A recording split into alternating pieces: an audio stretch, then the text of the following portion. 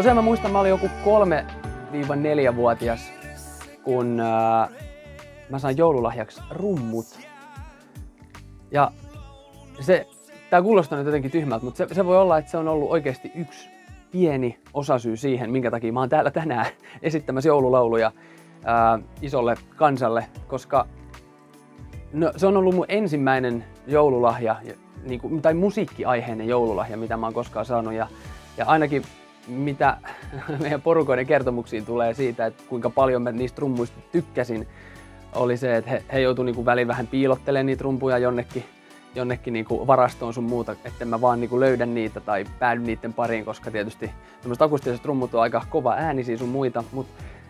ne on tollaisia pieniä juttuja, mitkä, mitkä tuota, on ajanut mut musan tielle ja ää, mä luulen, että mä luulen, että toi on, toi on ehkä yksi semmonen niin käänteen tekevin joululahja, minkä mä olen koskaan saanut.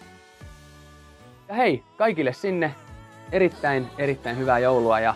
olkaa ihmisiksi ja nauttikaa. Nauttikaa joulua.